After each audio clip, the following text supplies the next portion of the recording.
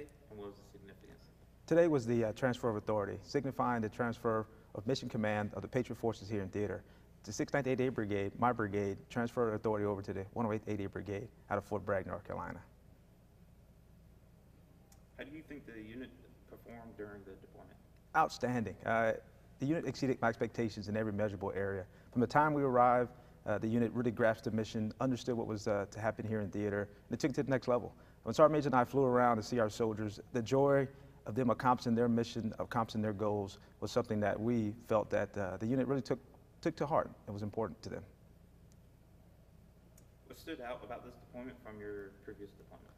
Uh, I think it was the uh, span of control that we had. Uh, we had uh, 11 Patriot batteries and one Tippy battery deployed across five different countries. Not to mention we had two battalions and a THAAD battery back in Fort Hood, Texas. So really having to provide mission command, provide guidance, provide leadership to all those forces, approximately 3,400 across multiple locations, was something that was different. I Never had to do that before in any of my uh, command positions before. What was the brigade's mission, and do you think the unit accomplished it? Our brigade's mission was to provide command and control for the Patriot forces here in theater. And without a shadow of a doubt, we accomplished our mission. Uh, we did things that were the first time ever deployed here. For example, we had we increased redundancy of communications out in remote locations that weren't here before. We had backup communications set up. We had backup power set up. This unit had the highest OR rate in four years in the AOR. So absolutely accomplished their mission and then some. How well do you, uh, do you think that the brigade performed in terms of readiness? Outstanding. As I just mentioned, 98% was the highest OR rate in four years. Also, the unit increased their combat proficiency. They, they ran different drills. They exercised with their host nation partners, exercised with their Air Force partners. So I, I, I agree that the unit increased its readiness across multiple areas, not just in, in uh, maintenance readiness, but also equipment readiness, also combat readiness, and just really partnering with our host nation, building their capacity. What, what were some of the brigade's uh, highlights, uh, accomplishments that you would like to highlight? Oh, again, back to the number one, 98% OR rate, again, highest in four years. Also, the, uh, the number of soldiers that we integrated into this theater. We transitioned six battalions during our time here. So we brought over six set of accomplishments, six, six sets of you know, soldiers coming in, bringing from, from different walks of life, from different brigades across the 32nd footprint. Bringing all those folks together was more like a symphony. Some people say it was a pickup game. I don't want to call it a pickup game. Pickup game implies that our soldiers were not a part of our team before. They were a part of our team back in CONUS. By bringing them together over here, it became more like a symphony. They brought their individual uh, unit techniques, individual unit pride, and all to form the top notch, the team of winners brigade that we were here. What's next for the 69th ADA Brigade? Oh, great question. We're heading back to Fort Hood, Texas today, uh, and then we'll rejoin our teammates back there at Fort Hood while preparing for 580A, our next battalion to deploy over here in two weeks. We're going to go back, renegade with our families, and enjoy the wins that we accomplished over here in theater. Joseph McCallion Jr., Colonel and Brigade Commander. Actually, can you spell your name for me as well? Sure, it's uh, M C C A L L I O N. So, what event took place today, and what is the significance of it? Today we conducted the transfer of authority between my brigade and the 69th ADA. And the significance behind that is just to show the uh, managing transitions of uh, one unit to another while we still maintain the ability to conduct combat operations at a moment's notice. So uh, the 69th had gone through and conducted uh, this rotation for over nine months, continued to build their uh, combat readiness and uh, strengthen relationships with our partners, and also establish better TTPs, refining sites, um, and, and also uh, the way to conduct business here. They handed that off to us, and now we will conduct this mission for the next nine months. Okay. So, what did the 108th ADA Brigade do in preparation to deploying? So what we did in preparation for this deployment was extensive six-month period, uh, starting last summer. We had uh, built the team, multiple staff exercises followed by uh, complete mission rehearsal exercise, which is an external evaluation, all on our ability to conduct not only the steady state operations that we're doing right now, but quickly transition a combat operation and be able to execute lethal uh, air missile defense engagement operations with, uh, with our partners. Uh, what are your goals for the brigade during this deployment? Our goals, of course, is, uh, big thing is for us to build, uh, sustain, and demonstrate our combat readiness. We do this with multiple internal exercises, also external evaluations, and then working with our joint partners through what we call joint kill chain exercises. We're also able to demonstrate our combat readiness with our partners in other countries that also have air and missile defense uh, capabilities that we're able to integrate in there. So that's our big thing, is just to continue to uh, be ready at a moment's notice uh, to conduct uh, lethal air missile defense operations. Our other goals, of course, is to uh, strengthen and cultivate the relationships, not only with our joint partners, but also with our host nation um, partners, uh, allies. Uh, and every, every time we do that, we strengthen those relationships. It just gets us better at doing what we're doing, but it also allows us to hand off a, uh, a better product to, to who is going to replace us. And then finally, the big thing is, is managing transitions. As we'll be here, we will change out certain units. Other units will come in. I know that our joint partners also rotate other units. And so the key thing is, is having a seamless transition so there is no gaps in capability during, during our time here. Okay. What does the 108th ADA Brigade bring to the fight here? Uh, we bring highly trained uh, operators, mission uh, command uh, cell that's able to, uh, to do the steady state operations right now, but also do force operations and engagement operations. Uh, we, our brigade staff has been well trained over the last six months, and uh, we bring not only our, our um, command and control capabilities, but also uh, um, a level of expertise that is able to evaluate and to um, challenge our subordinate units and uh, get an assessment on where they're at with combat readiness. Okay. And how well do you think the transition between the 69th ADA and the 108th ADA went? It was a phenomenal transition. I, I just, um, I can't hand off better to the uh, Lightning Brigade. They did a fantastic job. And uh, in today's world with technology, uh, it was it was pretty much it, it facilitated a seamless transition. And what I'm saying is is that over the last six months, the reports, the daily briefings, the status of equipment that was happening here in the 69th was able to be emailed back to us, and our staff was able to review in real time the same issues, um, the same briefings that were going on here. So we, we had an opportunity to kind of peer into the issues that were going on with 69th, and therefore when we came in, it wasn't like a cold start. We had already established those relationships with uh, their staff, and therefore getting on the ground these last couple of weeks, it was just really that uh, left seat, right seat ride and an easy transition. Okay. And uh, the last question, sir, is there anything else you would like to add? Um, just that we understand, it's not lost on us, the significance of our mission here. Um, this has been going on for years. This is a steady state rotation. However, if you look at what's going on in the world, a lot of ballistic missile activity uh, that's, that's increasing the instability in the region. So therefore, um, we're ready to, um, to transition a war. We're ready to protect these operational centers of gravity. We have the lethal hit to kill, hypersonic interceptors. We're ready to do the air and missile defense operations. But I just want to say that, you know, with what's going on in the world, um, I think it's heightened our uh, alert state. It's heightened our, um, our readiness that we know that we may possibly have to transition and, and execute those, those operations.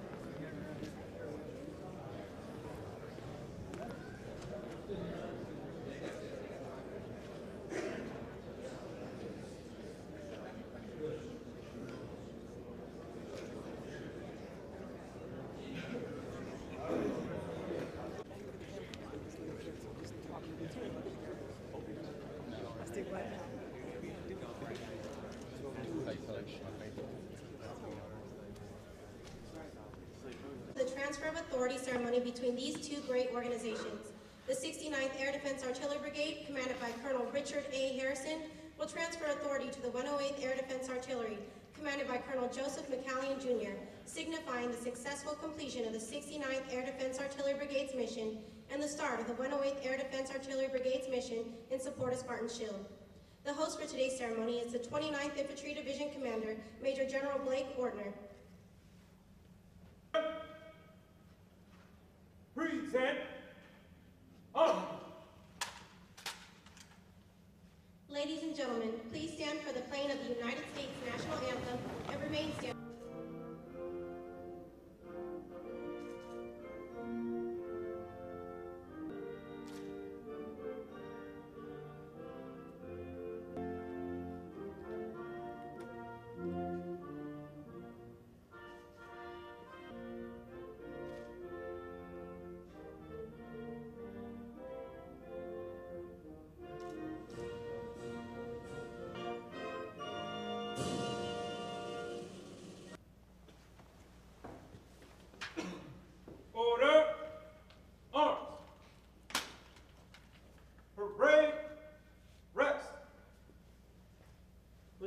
Share a common bond as members of the profession of arms. They are called to serve and defend our great nation. Thank you for their unwavering dedication. We also thank you for the many blessings you have bestowed on the 69th Top Notch Brigade, commanded by Colonel Harrison, and Command Sergeant. We know the future of our nation and of this region have been made safer and fortified by their vigilance and desire for excellence. May their homecoming be joyful and filled with your utmost grace.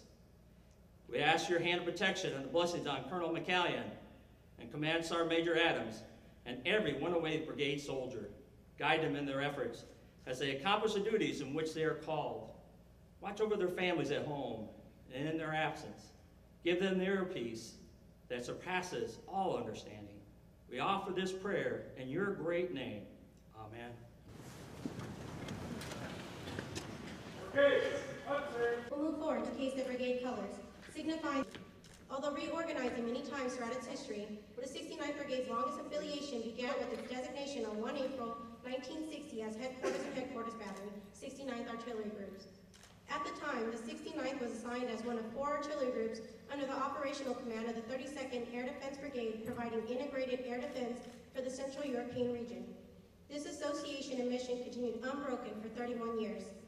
In 1989, the 69th Air Defense Artillery Brigade, in conjunction with elements of the 32nd Army Air and Missile Defense Command, deployed a task force of over 1,000 soldiers to Southwest Asia in support of Operation Desert Shield Desert Storm.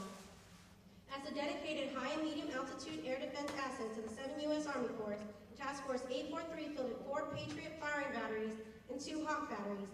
The task force provided critical protection to 7th Corps providing integrated coverage against both hostile aircraft and ballistic missiles. The 69th Air Defense Artillery Brigade, guarding the skies, relocated from its headquarters located at Wurzburg, Germany in the summer of 2008. The brigade officially uncased its colors at Fort Hood, Texas on 16 September 2008. The unit participated in World War II as the 108th Anti-Aircraft Artillery Group in Normandy, northern France, Rhineland, and Central Europe. After being inactivated and reactivated across Los Angeles, California, and Fort Riley, Kansas, the group was deployed to the Republic of Vietnam in October 1967, where they participated in every major operation conducted in Northern Corps and received credit for 11 different campaigns in Vietnam.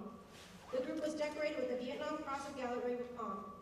Once again inactivated in Vietnam and reactivated in Germany, the group was redesignated as the 108th Air Defense Artillery Brigade on October 1st, 1982. Once relocated to Fort Bliss, Texas, the brigade deployed to OIF while the subordinate battalions deployed to OIF and OEF in support of the global war on terror and to Korea to perform air and missile defense and non-standard operations. On June 28, 2007, 108th Air Defense Artillery Brigade relocated again to Fort Bragg, North Carolina. Since relocating to Fort Bragg, the brigade headquarters had deployed four times in support of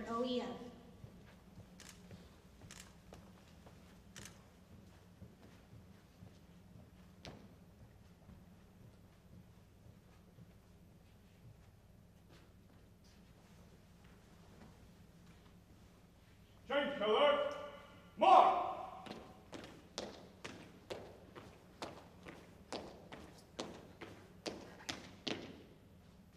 Hooray! Right! Soldiers. Major General Severo, General Officers, Officers, Sergeants Majors, NCOs, soldiers, friends of the 69th and the 108th Air Defense Artillery Brigades. It is my distinct honor to be here today to oversee this transition of authority ceremony. As I've told Colonel Harrison and many others, this is a very unique opportunity for a division commander because division commanders do not get to command ADA brigades. And I must say, I could have not asked for a better team than the 69th ADA to be my first ADA brigade. But maybe this should not be such a surprise, and perhaps it is fitting as we experience the changing environment of warfare we will face in the future, where the air defense artillery will once again become one of the most valuable weapon systems on the battlefield. With the increased threat of sophisticated and highly lethal fifth generation aircraft and highly advanced ballistic missile systems being fielded to our adversaries and our potential adversaries, air defense as well as missile defense will once again find an absolutely critical place on the battlefield not seen in 30 years. And you, and you are the leaders of this change. You will be the new commanders, NCOs, and trained soldiers that will face this threat. And it is also very rewarding to be here in Qatar, because in the future, as it has been the case for the last 25 years, we will not fight these wars alone, but with our allies, partners, and friends. We will depend upon them as we should. With the proliferation of TBM systems and sophisticated, sophisticated aircraft, we cannot afford to fight on our own. No nation can. And perhaps, more than ever, we must have our friends and allies with us to cover the vast sky for threats and, for that matter, space as well. As I stated in December at my own TOA ceremony, Colonel Cullion, I want you, your staff, and your soldiers to know the division headquarters is here to support you. You are the focus of Spartan Shield. It is absolutely imperative that the division help you build the readiness of your units, not only for today's fight, but for the fights to come, because they will be coming. And you must do this with our allies and partners to build capacity, understanding, interoperability, and trust, as this is critical to any future fight. We must all be ready to fight together, and we must be able to operate seamlessly with each other. Readiness is and always will be the key to success in our business. It will always be the priority. Readiness in all areas of equipment, personnel, maintenance, medical, as well as physical and mental readiness. And personal readiness as well. As I've often said, in most units, operational readiness is measured in days. The Patriot units are measured in hours. And while your use may be a low probability, if you are used, it will be extremely high risk and will signal a carry in those warheads and the difficulty being able to engage them makes you potentially the most important soldiers on the battlefield. You provide more protection capability can easily carry chemical weapons, makes you cannot, and the soldiers of the 69th ADA, you fulfill all the aspects. To react to any mission or process, whether the SAMS remote launcher mission to support our Emirati partners, the in-theater crew immersion training, the counter UAS exercise in Jordan, or your improvements to the missile retrograde program have set a high standard and challenged the 108 to improve upon. And your soldiers have demonstrated excellence and professionalism at every turn. You conducted your operations over multiple countries and quickly adapted to widely distributed operations, a required task that will only become. You have been and will continue to be critical to protecting U.S. forces, allies, and partners well into the future. Because even as we field newer and better missiles, directed energy weapons, and who knows what, it will always be the soldiers who make the difference. It was this way in 1776, and it will always be so. The American soldier will always make the difference, whether with a Patriot or THAAD or with a rock. I have been very proud to be your division commander. Colonel Harrison, you and your soldiers have succeeded in every effort and every task. Your action in World War II was outstanding, including conducted in I Corps' area of operations, 11 different campaigns while in Vietnam, and being awarded the Vietnam Cross of Gallantry with Palm. Germany, the Cold War, the Gulf. You will continue your ADA legacy as you follow the 69th. I know you will do well and perform deeds above words. To both the 60 for you today because uh, we got a plane waiting for us. So and I saw Joe's cake. It's a nice looking cake. Although I drew six and nine in there with my finger. uh, General Ortner, General Officers, fellow commanders, Command Sergeant Majors, Command Chiefs, other distinguished guests, soldiers, sister service teammates, welcome to today's Transfer of Authority ceremony, and thank you all for attending today. Today marks the peaceful transfer of the U.S. CENTCOM Air Defense Mission from the 69th ADA Brigade to the 108th ADA Brigade, the Spartan Brigade. I'd like, to, I'd like to begin today by thanking those who helped to make this ceremony a memorable day. So please join me a round of applause, those folks who took part in our ceremony today.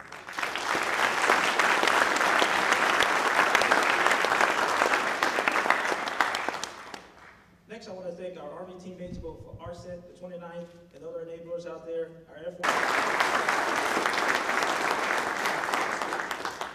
Now, the Top Notch mission is a unique mission, uh, comprised of 11 Patriot batteries and one TB2 radar deployed across five countries. Now, I was told when I was here that the Top Notch mission is kind of like a pickup game. I took offense to that uh, because pickup game implies that we're not part of a team. In fact, we are part of a team. We're part of the 32nd team back at back at Fort Bliss and in Conus, and we come over here with our own skill sets, our own pride, our own hustle, our own desire. Uh, so I think of us as a symphony. Uh, and a symphony, knows the winds bring their own theme, their own sound to the symphony. The horns bring their own sounds to the symphony. The brass section brings its own sound to the symphony. And I believe that when the top-notch mission comes together, it's like a symphony. It's all of us coming together, bringing our own individual training, our own pride, our own hustle desire, our own standards from our installations, coming together and playing beautiful music. The top-notch command team and the top-notch headquarters just has to be the conductor for that symphony. Each battalion comes over here with its own music, sheet music, but they have to play to our music for us to win. And that's what happened during over here, Older's time. We actually won. We all played on the same sheet music, and it was beautiful. So I'm proud of each and every one of you for coming over and playing our sheet music. Now it's time to turn the page and play the 108 sheet music. And I'm confident this team is going to play beautiful music after today. Now, I told my team coming over, it was sort of a theme that we had. One of my favorite movies growing up was Smokey and the Bandit. I know some of you watched them. I see the smiles and the head oh. nods. Well, Jerry Reed wrote a song, theme song for that movie. And one of the, the citizens of that song said, we're going to do what they say can't be done. And I tell you, teammates, we did what they say couldn't be done. We came over here as a team, and we achieved the impossible. Like General Ortner mentioned, the Sassanaka mission was not a mission that was something we trained for, not a mission that we've already you know, prepared for, but we made it happen. Backup commercial power something that we didn't have over here initially. We have that now. A jump TOC, a place for us to go in the event something happens to our main headquarters. We have that now. Redundancy in communications across 11 PAT sites. We have that now because of the great work that you did. You did what they said couldn't be done. So today, again, I honor you for that, and I thank you for that. To Joe, Commander Sergeant Major Adams, what an amazing deployment you're going to have. I wish you guys the best of luck in your entire team. Which tremendously proud of you. Couldn't ask for a better teammate to hand off this mission to. I know that you can take it to the next level. To the battalion commanders and CSMs that are here, thank you for your support. Uh, you truly are a team of professionals. You make the team of winners win every day. And to all of our soldiers out there, Sergeant Major Brown and I cannot be more proud of you. We are going back home as winners because of you. In closing, thank you all for attending today's ceremony. Team of winners, guard the skies, Army strong.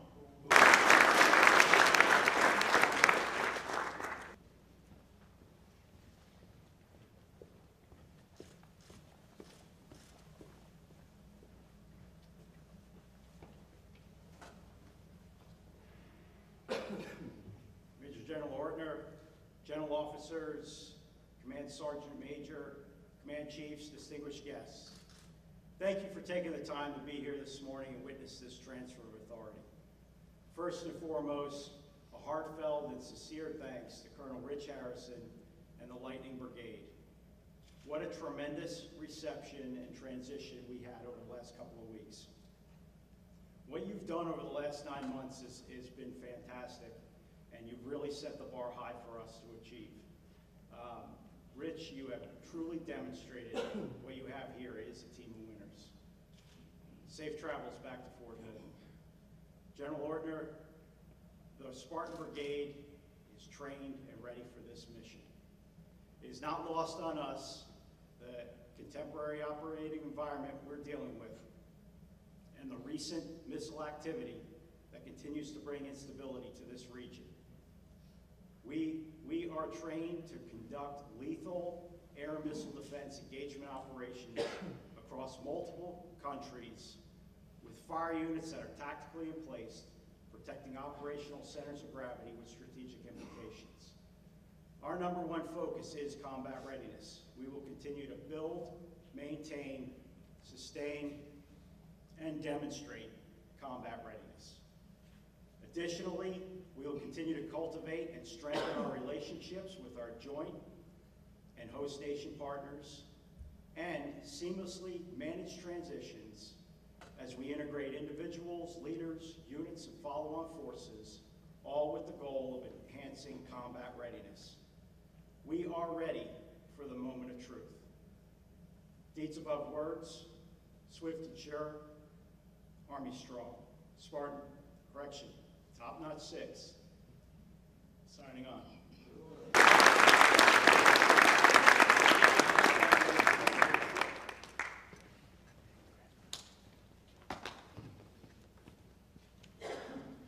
Attention!